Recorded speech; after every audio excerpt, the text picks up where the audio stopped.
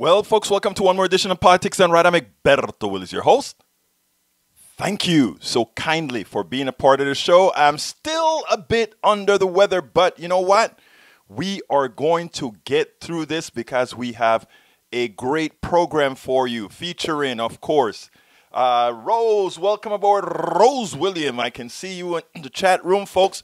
Remember, those of you who want to join, and for me to be able to see your chat, you need to be on either YouTube or YouTube channel at youtube.com slash Egberto Willies. You can be on our Facebook page. Uh, of course, this is shared all over the place, but to, for me to see this, for me to see your messages, you need to be on the particular Facebook page that we're on. So anyhow, folks, let me tell you, we are going to have a great show for you today. Uh, Rose Williams, one of our well, I tell you what, I'll start the show and then I'll get there. Uh, title of the show today, the title of the show today is Does America have the best health care? Not by a long shot. Not by a long shot. And you know what, folks? This story, the story that we're going to talk about today, um, I found it mind blowing. I mean, that is one of the reasons why I came on and, and switched, the, switched the topic that we're going to talk about today. And the reason we did that was because after I saw the story on TV, I mean, Rose, you were right, it blew me away. Because in that one story, although a whole lot of people are not going to, because most people are apolitical or they don't look into the politics of things, they look at what's happening to them right away. So they don't immediately see these things. But my God, was that particular story riveted with realities in the American healthcare system.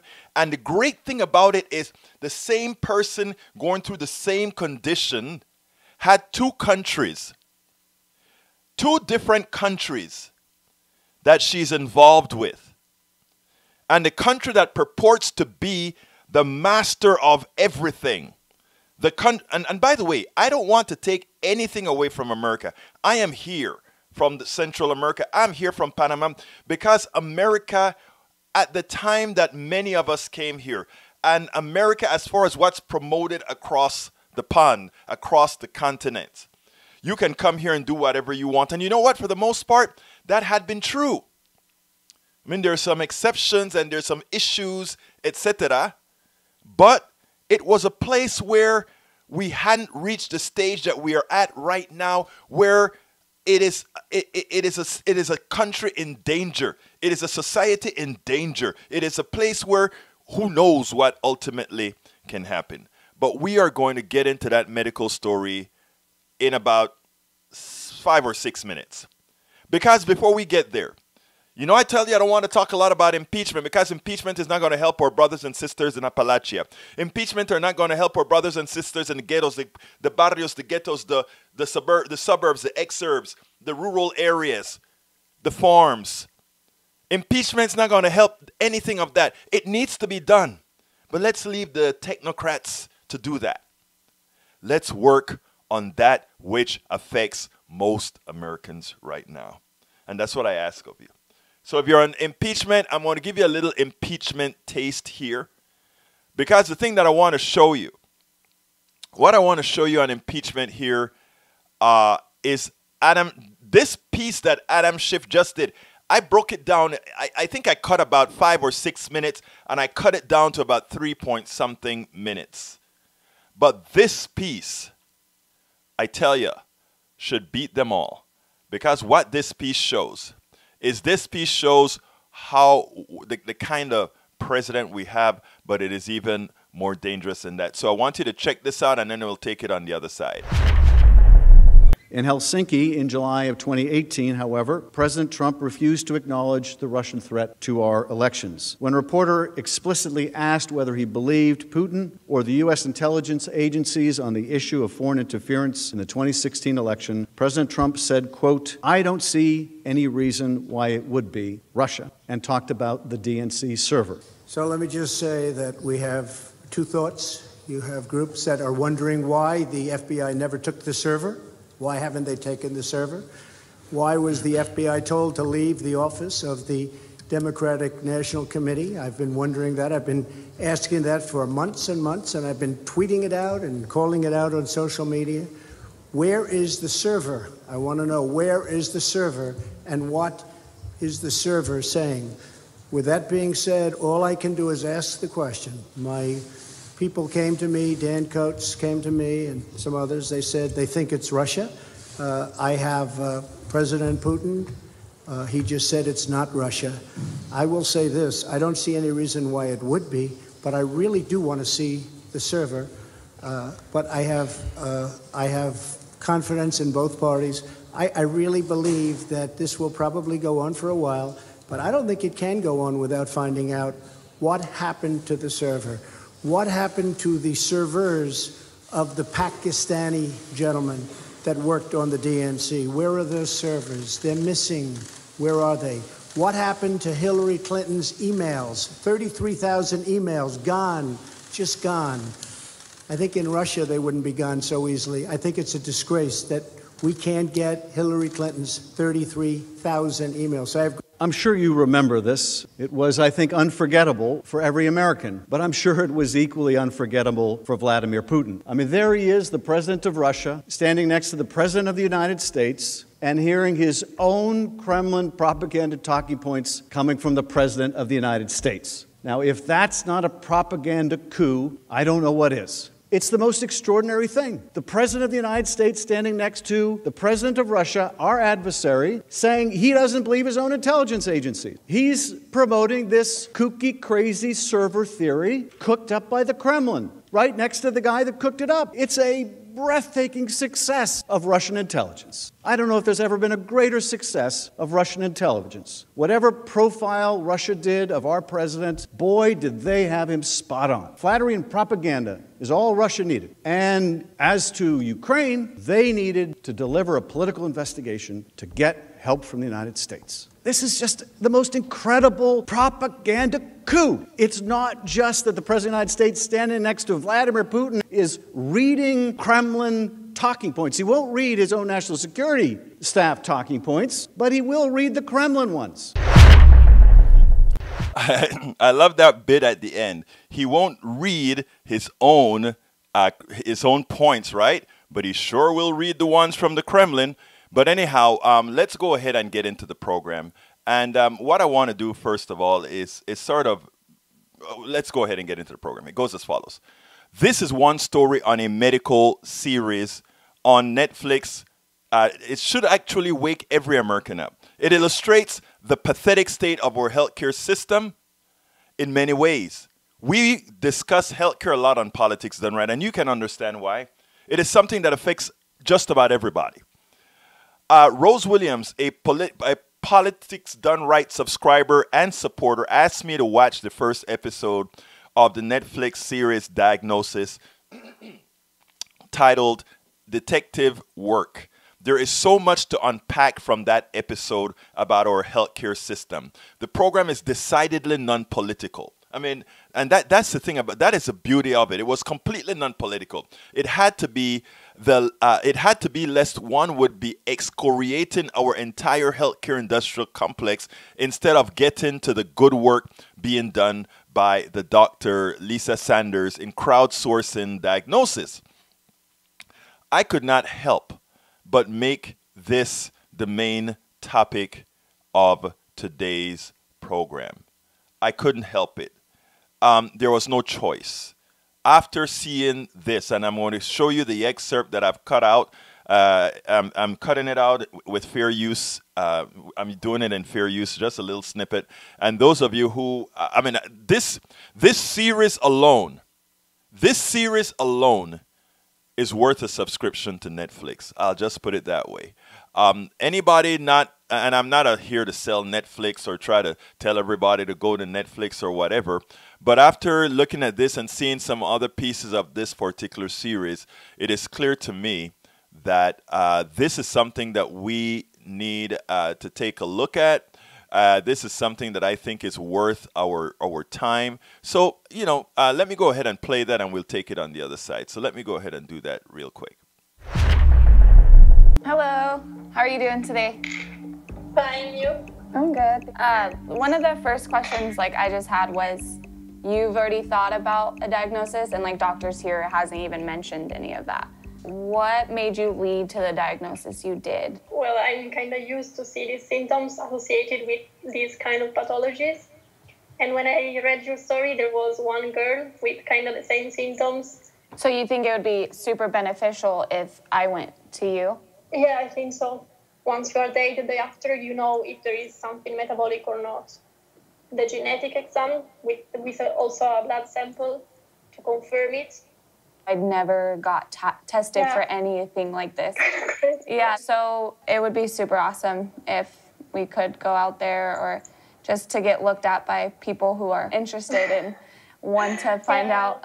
You guys sound more on track than any doctor I've ever had. So, um, for if we come out there, I know like money and stuff, is this necessarily like an expensive test or, Here, the health system is public, so we pay a tax for it. oh wow, People with this kind of pathologies, so with this um, metabolic disease, usually have an, I mean, they have not to pay anything because it's a rare disease. Oh wow. Yeah, it's super different out here. Complete opposite. okay, well, thank you for your time, and I really, really appreciate it. And um, I'm hoping we'll be in touch, and maybe Yeah. sometime soon we'll I be hope- meeting each other in person. Have a nice day. Okay. Um, first of all, I, I, I need to give you some background. This young woman, for over nine years, I believe, or a decade, or somewhere in that regards, uh, she start. She was an athlete. She was very athletic, but suddenly she came down with a condition where her muscles and everything would pain like crazy. I mean, she just had a whole lot of pain. Uh, period. Now, but that wasn't, you know, a lot of people would uh, attribute that to, oh, well, you know, a lot of people have arthritis or something of that nature, you know, no big deal.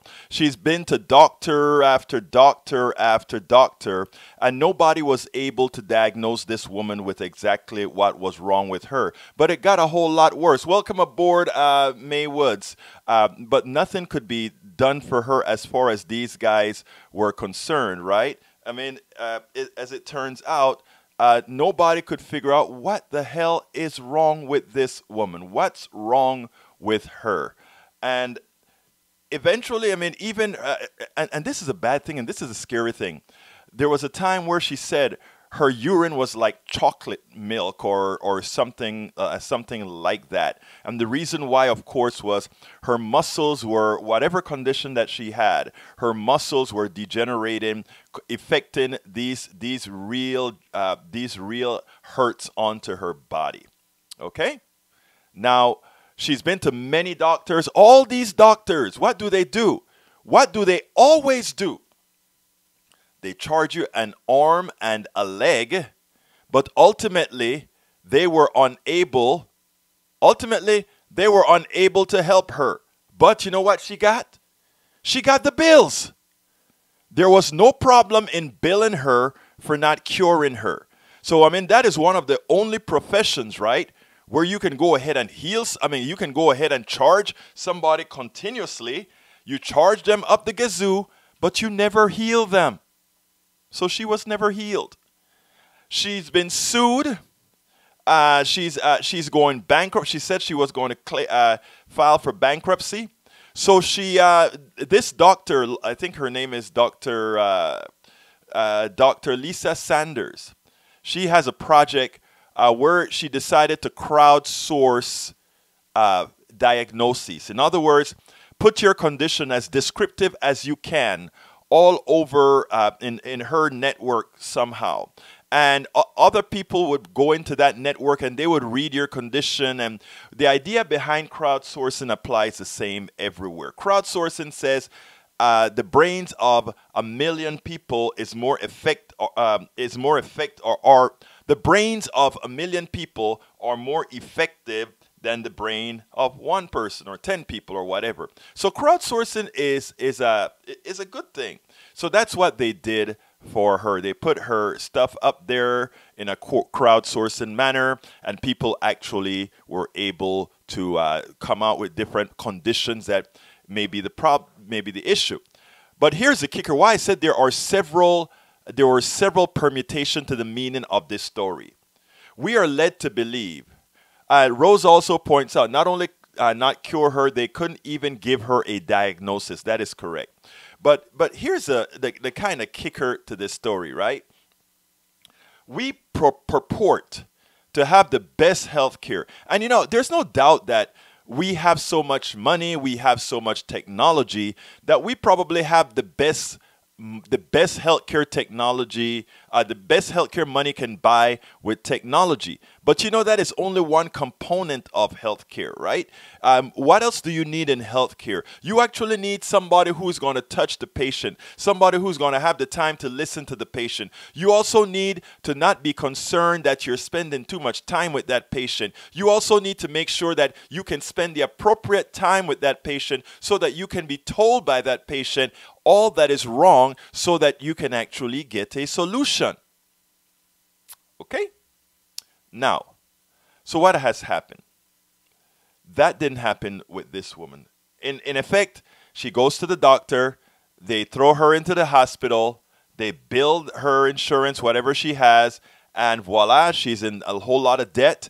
And when uh, it's time for the bills to be paid, they sue her for the money. So here is a woman. Pay a, and I, I want you guys to understand this before we move on because uh, we have taken this to mean something uh, uh, as is just the way things are.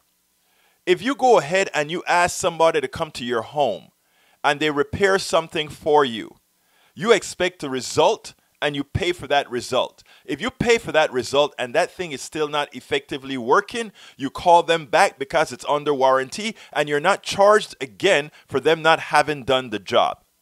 That is how it normally works, right? But in a healthcare system, in a capitalist society, in this type of a market, you don't have to be successful in treating, in solving, in, in a product you, you know, we like to call, we like to treat healthcare as a product or a service like any other product or service. People like myself would always tell people healthcare is not a product. Healthcare is not that type of service as we do in a capitalist society. It is not. It belongs in another in another framework. Why? Like I said, if you have a repair made to your car and it's done incorrectly, you take it back, it costs you no more money for them to make it right. If you are, however, sick and they claim to have made you healthy, but they never really solved the problem, if you have to go back to them, you don't go ahead and say, okay, you didn't do it right. You go back to them and you pay again.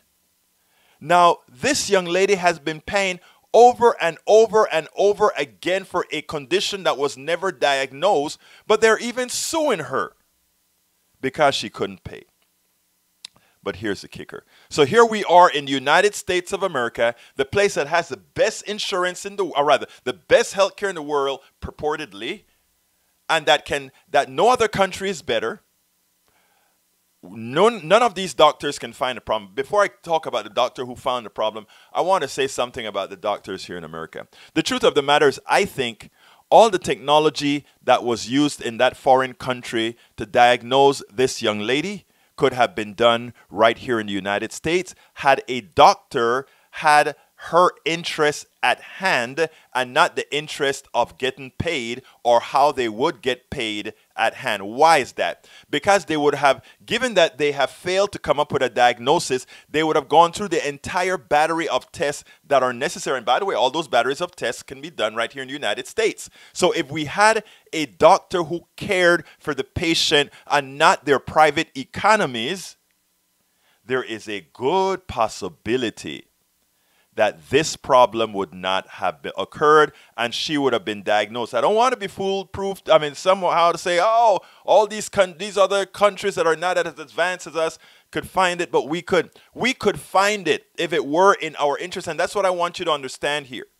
I want you to understand that the reason her condition wasn't found wasn't that it could not have been found in America, but because of the nature of our healthcare that puts capital over humanity. Capital over humanity. Capital over humanity. And when we understand that, we will be ready to get rid of this system in its entirety and implement what everybody else in the rest of the world has. So here's the deal what she did. Finally, she's talking and talking to different people. And by the way, if you if you watch the series, you'll see that other people came close to the diagnosis that it's been a uh, not being able to handle fatty acids kind of a thing as well. Okay, but here's what happens she gets a call from a, an intern in Italy. And this Italian intern says, You know, I've seen this before. I think we can have you diagnosed in a day. And she said, Okay, that would be great. What does that mean? Do you need to see me in Italy? Yes, you need to come to Italy. Well, she understands that, remember, she's broke. She doesn't have any money. The American healthcare industrial complex has taken all her money, not diagnosed her. Again, they have taken her money, thousands of dollars, no diagnosis, but she owes it and they're suing her. In other words, you pay for us not curing you, okay? You must pay for us not finding your diagnosis, but you pay anyway.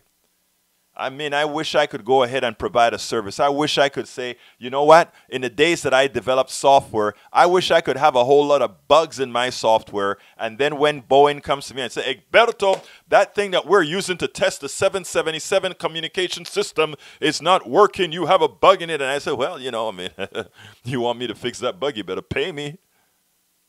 They would, say, they would take me to court which is something I think it's a novel idea we should maybe start trying to do with doctors and hospitals.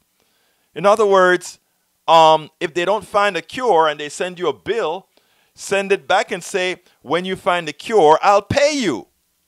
I will pay you when you find a cure. But anyhow, so what happens is she goes ahead and she takes off to um, she takes off to Italy but before that, she's scared about money. I don't have any money.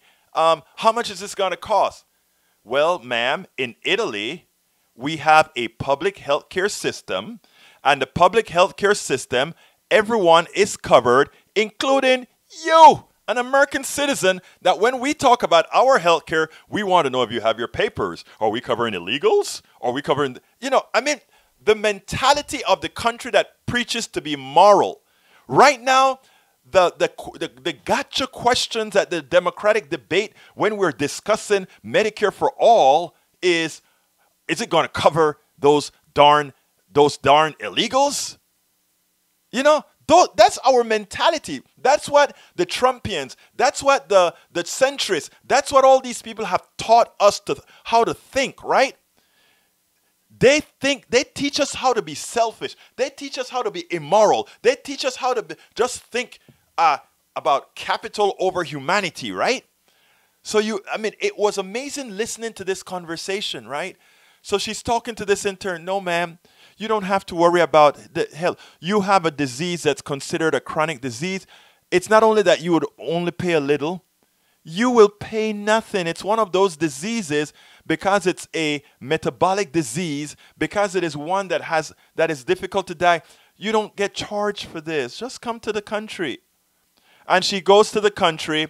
They do a full test on her. Well, they couldn't give her the diagnosis in one day, of course, because as it turns out, she didn't have a metabolic, that type of a metabolic problem that could be tested that way. Her problem was more genetic in nature. So what they, the way they found that was doing a full, uh, a what do they call it? Uh, a full genome analysis on her genes.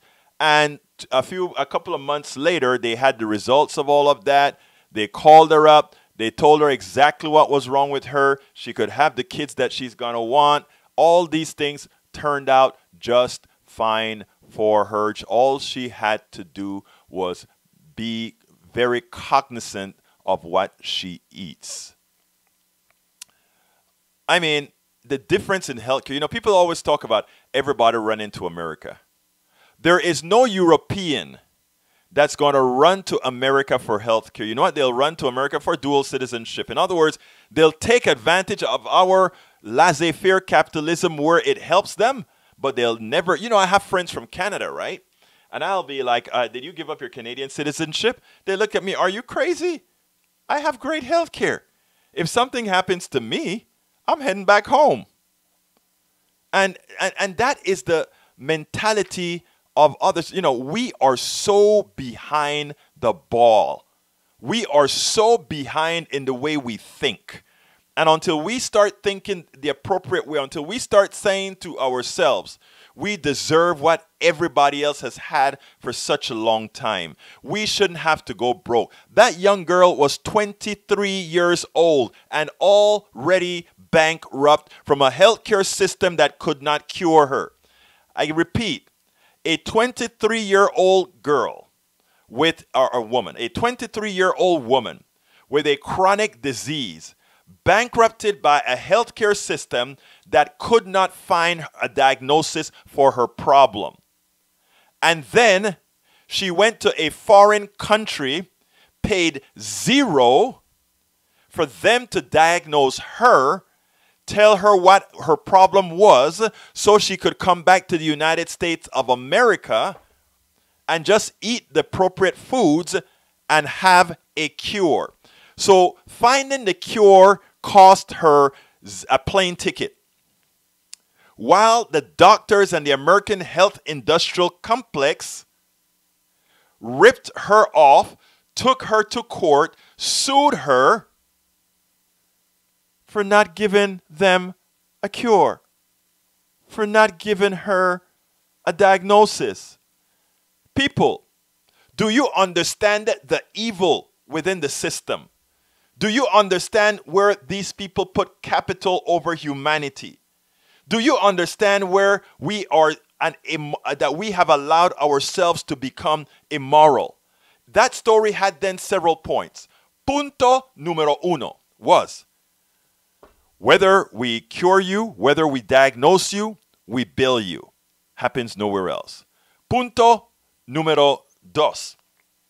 Um, we don't really care about you, if we can't find anything about you, just get the hell out of the way. Punto número tres. Other countries, when they're providing service to you, don't sit back and say, Do you have your papers? Are you legal? Are you an illegal? Are you a, an alien? They understand what health is all about, a human right. Punto número cuatro. And you know what? In understanding healthcare as a right, we ensure that all of our tax dollars go to solve the problems of us all, the healthcare issues of us all. This is not rocket science. This is not difficult. This is just human. This is just how things are supposed to be. Look, Rose Williams, uh, I thank you for that. Um, and by the way, Rose, uh, right on here, thank you for being not only a, a regular subscriber to Politics Done Right, but also a great contributor to Politics Done Right. Folks, we need other folks to, um, to do that, to make sure that we can stay uh, doing what we are supposed to get done. Those of you who are listening on Facebook, you can always be supporters and, and, and, and helpers of Politics Done Right by hitting that dollar sign on the YouTube uh, page. Just click that dollar sign, and you can you can do whatever you want right there. Those of you who are on listening to us on podcast, I'm going to tell you how you can actually help the program right now, and then we'll move on. I'm going to try to do all of this in two minutes. So stay with me, and please remember to share these programs. Please remember to share these programs. But if you want to uh, support politics done right, and we need you to support politics done right, the first the first thing we normally ask uh, as support, the, the, the best support is a constant stream, and that comes via what we call our Patreon page, which you can find at patreon.com slash politics done right. That is P-A-T-R-E-O-N dot com slash politics done right. I just entered that into the stream. Uh, you can also decide to work, uh, help us with our equipment upgrade. You know, we're, uh, we travel a lot and we like to have the appropriate equipment that we can stream from anywhere you can uh, go to gofundme.com slash independent dash media dash upgrade. That is independent, uh, gofundme.com slash independent dash media dash upgrade. You can also uh, go directly to PayPal to help us out there. And the PayPal is at paypal.me slash politics done right. Again, that is paypal.me slash politics done right. And of course, you can always go to our store and purchase anything that we have at the store. All of your purchases go towards assistant politics done right. And what do you get at the store? What do you get at the store? Check that out. I support independent media. You can go to store.politicsdoneright.com. Again, that is store.politicsdoneright.com. I support independent media. And we also have a little teaser for Donald Trump, which says, on uh, a, uh, uh, a, president. I forget what it says. But anyhow, it, it's the one that says an uncon- unconventional president requires unconventional exit or something to that nature. Look, uh, all these all these things support politics done right. We ask you so kindly to do so. Okay, let's go ahead and get back to the program. Don't want to spend too much time there. But anyhow, folks, look, I want to thank you guys for listening in. Uh, let me go ahead and read some of the messages that we have here. I don't have any top chats yet. Come on, folks, let me have a top chat, a top chat, so I can call you out on, or rather on on on uh, YouTube. Okay, let's let's go to the chat. Uh, let's see. Karen Andreessen says, uh, "Let me welcome all of you guys first. Amy, welcome. Amy, welcome. Amy. Let's see. All right, uh, and Karen, TLC had a TV show called Chasing the Cure. It used crowdsourcing and specialists to help diagnose patients, often with rare conditions. Some of the people had insurance, and others uh, of them had gone bankrupt looking for a diagnosis. For those with insurance, insurance companies routinely denied doctors' requests for genetic testing. The show or individual doctors donated the genetic testing that led to the diagnosis. You know, and, and that is that is a, the thing that that I hate the most with our system we should not have to have a GoFundMe so that you, especially if you have insurance, right? So that you can go ahead and get a cure. You pay you pay your insurance and you pay for something and you don't get the results. Come on now. That is simply not fair at all. Okay, Amy also says it took 2 years of bi-monthly appointments to get a fibromyalgia diagnosis and there's no cure only symptom relief. Yeah you are uh, that is in the same family with lupus a, a disease that my wife has um, and with, with fibromyalgia it eventually i mean it's a thickening of a lot of your linings but you know what? With uh, steroids it is you know you live a normal life. I mean yes it's painful a lot of times but I'm so happy you had somebody who had the wherewithal to diagnose you, Amy, because that family of disease, that family of autoimmune diseases is brutal. And when I say it can be brutal, you know it, you live it, it can be brutal, Amy. But you know what? It's great that they found the diagnosis. And not only that, Amy, it is great that you're doing well. I'm pretty sure they have you on some sort of a steroidal, uh, steroidal type of a deal to take care of, uh, to take care of that. Okay, let's see. Uh, Rose, uh, Karen an excellent example, an excellent point. Absolutely so. Uh, Amy also says, lost home job, ended up in homeless. Oh, raising young daughter on welfare. Public housing took five years to get it, get into a home. Uh, Amy, if you're at a phone, I would love to get your story on the phone calling in right now because this is you, you are real. That is a story that needs to be told. If you, Amy, if you can call us right now at 646 716 5812. If you're still here with us, I would love so much to talk to you right now. 646 716 5812. If you have the wherewithal to give us a call, I would love to talk uh, to you uh, uh, you lost your home, you lost your job. That, Amy, let me tell you the importance of stories like yours. Most Americans, uh, like I've always told people, most Americans are not sick all at the same time.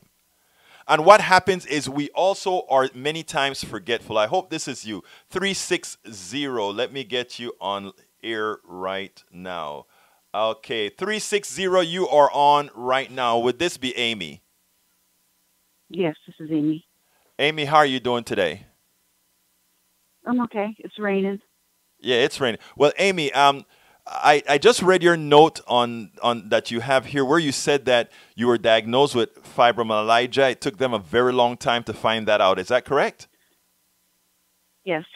And it is also correct that to go through. and is it also correct that you have you spent a whole lot of money and time trying for them to do their job and find that diagnosis?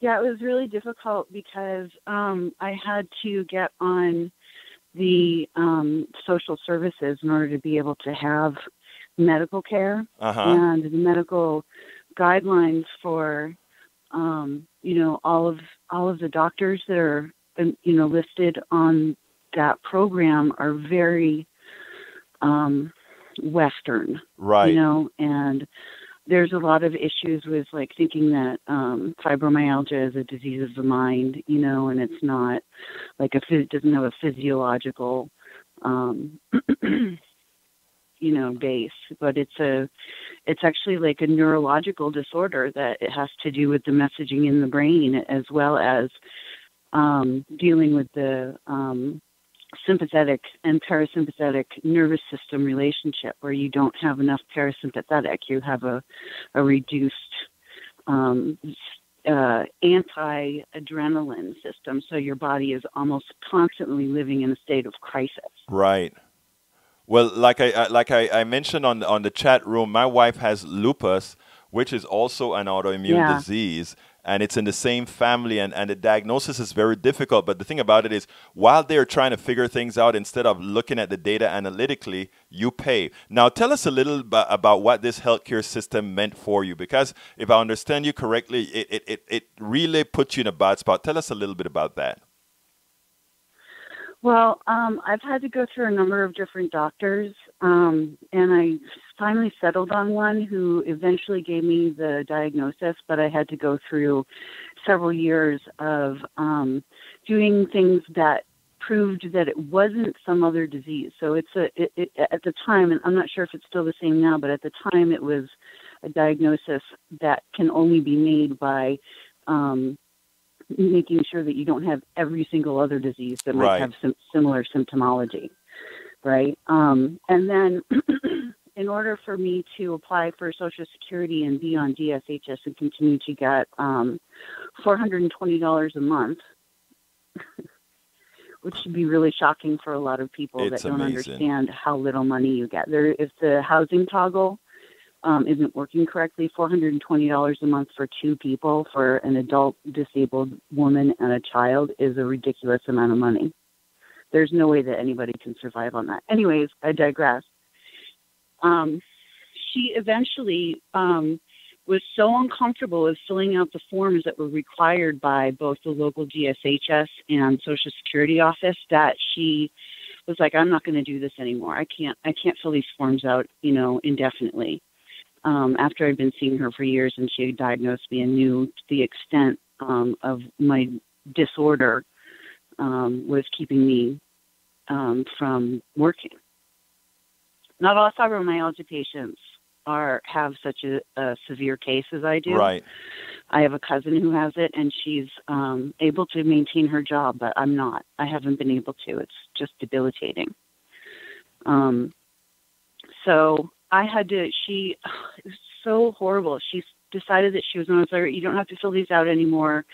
Well, I'll figure out something else, you know, in order to be able to to do this." And then I talked to the manager of their office, and then she threatened me um, saying that I had refused to do a urine analysis in order to get Oh, the prescription drugs. Right. Yeah, and I said nobody asked me for a urine analysis. Nobody had ever actually asked me for a UA, which I would have been happy to provide. But they were so basically she was threatening me with, um, with re, you know reporting me as a drug seeker, which if you know they had looked at, you know my history of prescriptions, they would know that that's just totally not true.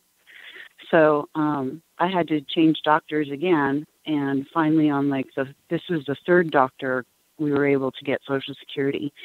Um, the first attempt for Social Security, they denied that I ever even made it, that I had ever made the application. And then the second time, I had DSHS following me to make sure that they they knew that they knew, right? Like Social Security knew that DSHS was watching that I had actually made the made the um, application. and then um, I still got denied, and the judge said that my doctor had misdiagnosed me, Oh, which is not legal. right. It's not a legal thing. You know, she said I don't have fibromyalgia, I have myalgia. Uh, what state are you in? Um, And uh, Washington. Okay. a bunch of the um, most of the Social Security uh, lawyers have actually gone out of business here because um, the a few years back the um, the the whole like all the judges were replaced, um, and they're just like you know they're just rubber stamping everything, you know denied. denied. Now, how did So you come about losing your I home? went- um, I I had no money. I couldn't work. I I couldn't pay rent. Um, I ended up, you know, in um, staying at family with families and um, friends in different places. Uh, I, I stayed with uh, my ex-husband's mom and uh, his brother for a while, and um, also his nephew. I stayed at, at at his house. I stayed in, you know, friends from high school in California. I went down there and stayed there for a little while. My daughter ended up going to um, a different school almost every year from middle school all the way to, gosh, her sophomore year in high school. Oh my God. Yeah, and it was it was just it was excruciating. Well, look, Amy, I, I, It's so difficult, and and all those things, all that stress, just like makes the the you know, Yeah. symptoms of fibromyalgia worse. autoimmune diseases are very stress related as well.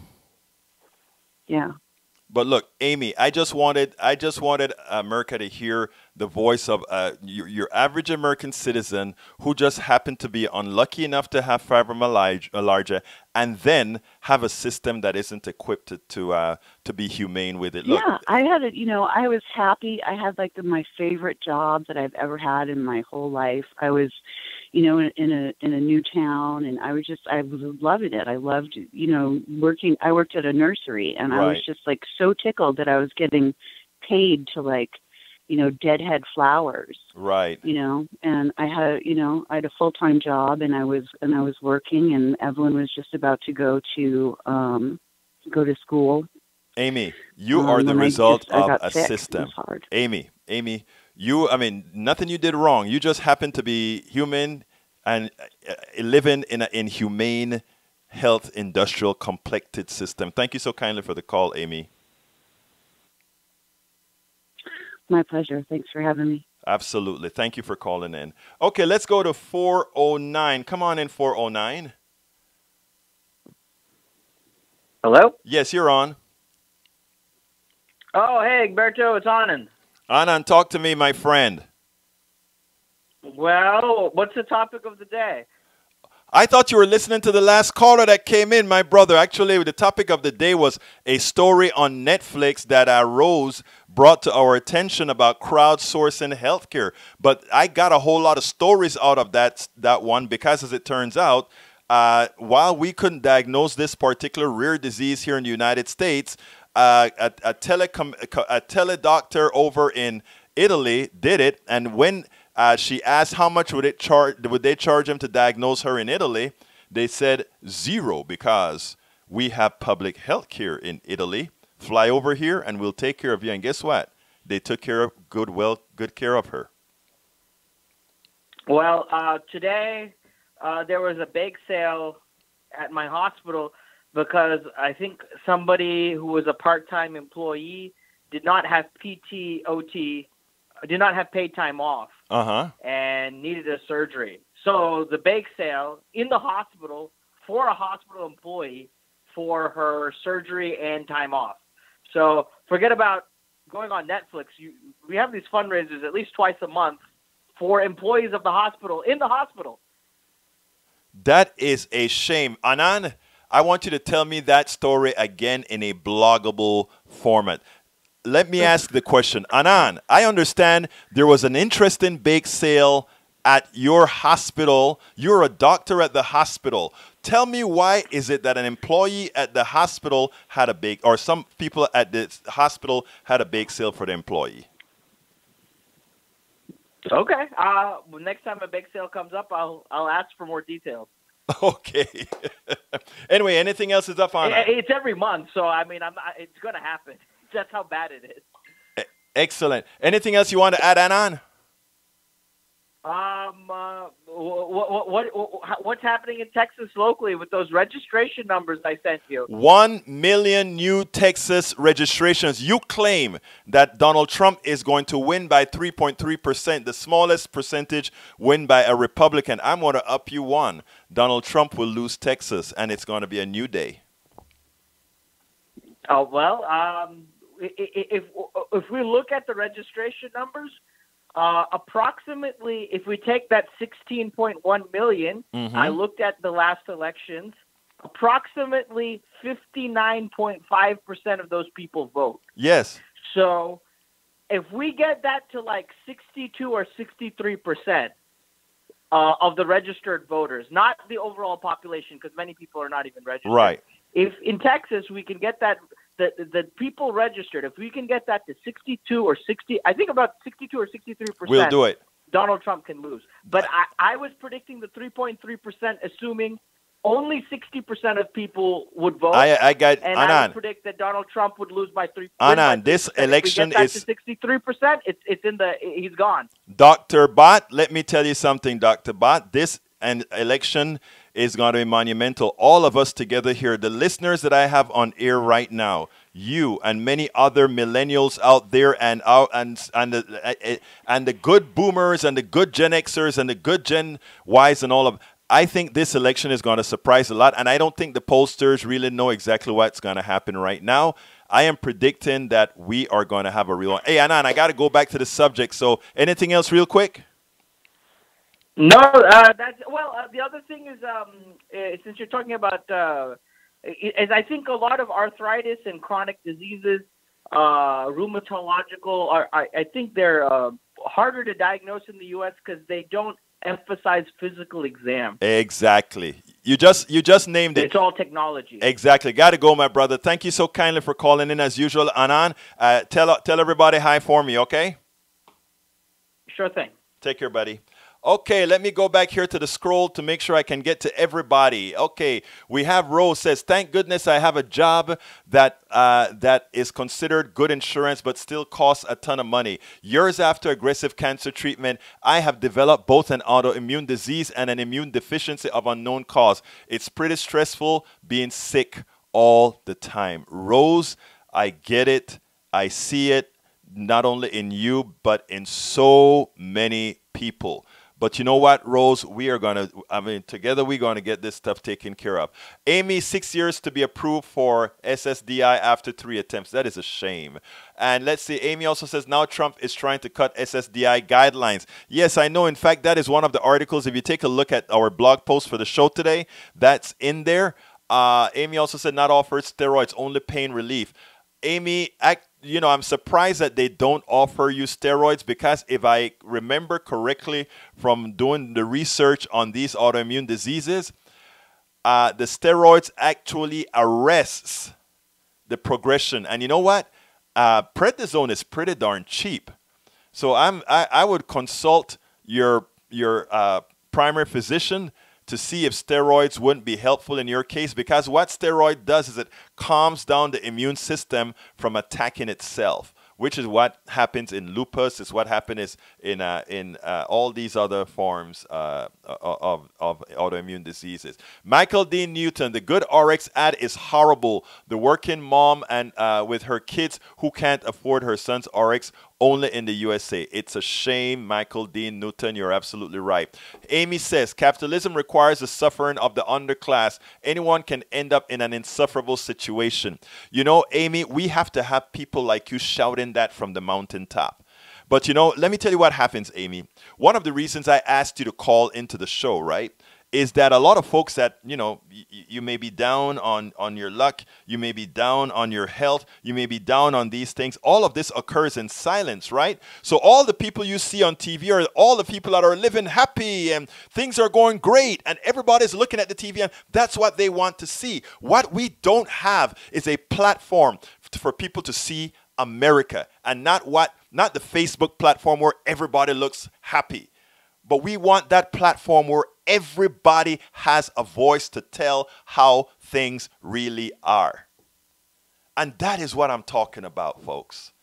That is what I'm talking about. This show belongs to all of you. This show means that, you know what? And by the way, folks, we can still take a couple more calls. 646 716 5812 if you want to call in. 646 716 5812. I'm going to say it slower. People tell me I talk real fast. Six four six seven one six five eight one two. If you're listening on podcast, just go to politicsdoneright.com. Politicsdoneright.com. Look, Amy, you're right. It's social programming. But you know what, Amy? Social programming only works as long as we stay programmed. And one of the things that I refuse to do, and if you take a look at some of the other independent media that we work with, in fact, right after this show, I will be on with, uh, I'll, I'll be interviewing uh, Thom Hartmann. Thom Hartmann is a guest right after this. I'm, I'm going to be recording a, an interview with him that I'll play. Uh, well, his book comes out on February 11th. I'm not sure if I, I need to hold the interview until February 11th or not. But all our all our subscribers are going to be able to see that interview, and they'll also get a special message from El Señor. So look, folks, I want to tell you this. If you're listening to this show, I want you to uh, not only not only support shows like this and and, and websites like uh, like you know the, the Daily Kos and all the others.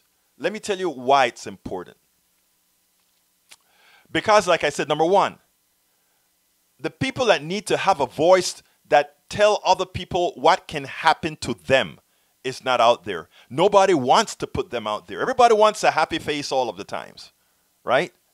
So therefore, we have millions of Americans suffering in silence. I did a program called Americans Are Perfect. Americans just know how to suffer in silence, you know? Nobody wants to let anybody know that things are difficult. Nobody wants to let anybody know that you didn't pass this test. Nobody wants to let anybody know that you failed at something. One of the things I started doing early on in my life is every time I failed, I would tell people I failed. Every time I succeeded, I would say it not in a bragging form, hey, I finally did it. And every time I tried a new thing, I always went at it with a passion. And there's a reason why that I try to use it as a template. Because again, most people suffer in silence. Most people think that there are certain things that only they go through because they're made to believe that. But you know what?